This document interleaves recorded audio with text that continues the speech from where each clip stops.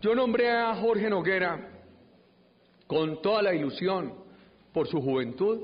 Había tenido un desempeño honorable trabajando en la gobernación del Magdalena con el doctor Juan Carlos Vives.